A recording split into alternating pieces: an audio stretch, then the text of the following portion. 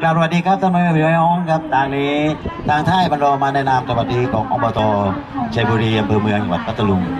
เรื่องราวเสนอต่อไปนี้เป็นเรื่องของหนุ่มไทยกับสาวอิสลามเกิดการกีดกันของทางศาสนา มันดังเศร้าหญิงมัดบุรีเลือดสีขาว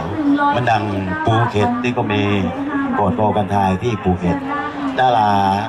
นั่งคอยผู้ชายซึ่งเป็นคนไทยกลับมา ยังไม่กลับนางก็จานว่าเกิดชาติหนึ่งชาติใด